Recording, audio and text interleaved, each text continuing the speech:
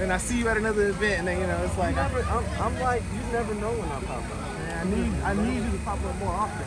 Okay. All right, I, guys. I want to talk to you offline too. Give you the stickers. Yeah, in the car. Um, Where'd you put our in, in the back seat, and then the pencils. Are, the, I got that. So the, stickers are in the back on this side. Okay. all right, guys. He's a good one.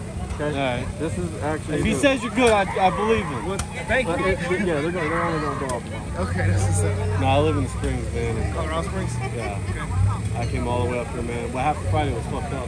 It was. It It was very fucked up. makes me angry. Like, That, that's one of your people. This is your community, too. yeah. So I understand that. I know that. Um, you know, that's why. Have you seen the whole video? Absolutely. Okay, me, you know, being, you know, you being law enforcement, where was gun safety? He was flagging everybody. Yeah. He was flagging everybody. Uh, that's why he's no longer a cop, Yeah. and probably he's gonna go to prison. I hope so. You know, and I believe Derek Chauvin got away too, 22 years.